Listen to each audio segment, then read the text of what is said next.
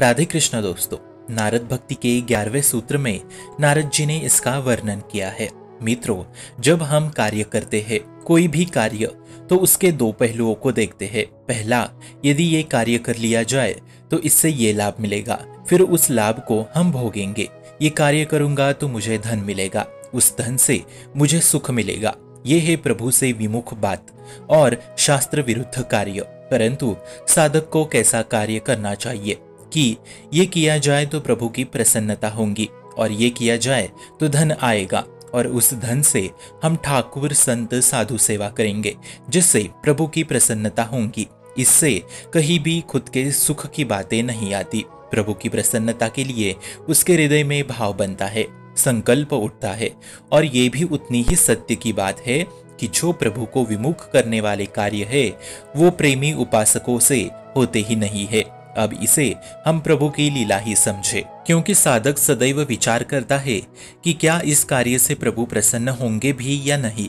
यदि नहीं होंगे तो ये कार्य वो कभी नहीं करेंगे। तो मित्रों, जिस कार्य से प्रभु प्रसन्न होते हैं, वो शास्त्र अनुसार कार्य। परंतु, जहाँ खुद के सुख के लिए कार्य होते हैं, वे शास्त्र विरुद्ध कार्य कहलाते हैं। जैसे ऊपर बताया, ठीक वैसे ही। किंतु अनजाने में भी साधकों के हाथ से शास्त्र विरुद्ध आचरण बनते जाते हैं। ये जो हमारे गुरुजन महापुरुष जैसे चले थे भक्ति पथ में, हमको भी वैसे ही चलना चाहिए। साधकों को किसी के आँसू देखकर, किसी की प्रार्थना सुनकर, अपने इष्ट या अपने शास्त्र गुरुजनों के आज्ञा का कभी उल्लंघन नहीं करना चाहिए। नहीं तो हम फंस जाएँगे। कितने भी बड़े भक्त क्यों ना हो। जहाँ आपने शास्त्र आज्ञा का उल्लंघन किया, वहाँ आप बड़ी समस्या में फंस जाओगे। और यदि आज्ञा में हो तो समस्या में कोई फंस नहीं सकता। ये वो लक्ष्मण रेखा है, गुरु आज्ञा और शास्त्र आज्ञा, जिससे कोई भी कभी भी आपका हरण नहीं कर सकता। पर यदि उस लक्ष्मण रेखा के अंदर रहे तो यदि बाहर गए तो कई रावण है काम है क्रोध, लोभ, मोह, मद, मत्सर, न जाने कितने विकार आपके इर्द गिर्द होंगे। लक्ष्मण रेखा के बाहर खड़े हो तो आइए एक सत्य घटना आपको बता दूँ। श्री सदन जी, महाभागवत बहुत बड़े भक्त थे। वो निकले थे श्री जगन्नाथ जी के दर्शन हेतु।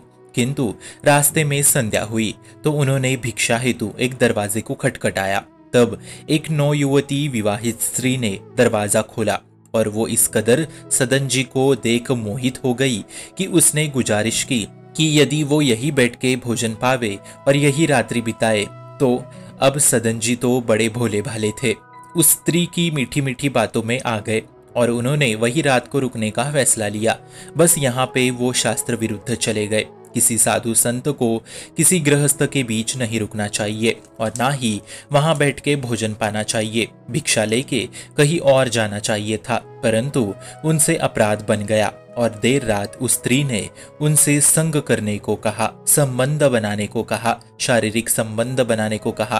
तब सदन जी बोले, तुम विवाहित होके, तुम्हें पति होके ऐसे अपराध करती हो? तब उस स्त्री ने अपने ही पति का खून कर डाला और तब बोली, अब मेरा कोई पति नहीं है। अब आप मेरे साथ शारीरिक संबंध बनाइए। तब सदन जी ने ऐसा कुछ नहीं किया। तब स्त्री क्रोधित होके चिल्लाने लगी, सारे गाँव वालों को इकट्ठा किया। तब बोली, इस बाबा ने मेरे पति का खून कर दिया और अब मेरे साथ शारीरिक संबंध बनाना चाहता है। तब राज दरबार में दंड स्वरूप सदन जी के दोनों हाथ काट दिए गए। पर मन में ठाकुर जी का चिंतन था, वैसे ही कटे हाथ लेके वो जगन्नाथपुरी चले गए और जगन्नाथ जी के सामने वो कटे हुए हाथों से नमस्कार करते हुए रोने लग गए। तब इतनी बड़ी लीला हुई कि उनके दोनों हाथ वापस आ गए। तब सदन जी ने क्षमा याचना माफ़ी मांगी गुरुदेव को कि वे शास्त्र विरुद्ध गए, तब ही ऐसा हुआ। इसलिए मित्रों, शास्त्र विरुद्ध जाने की चेष्टा कभी ना करे।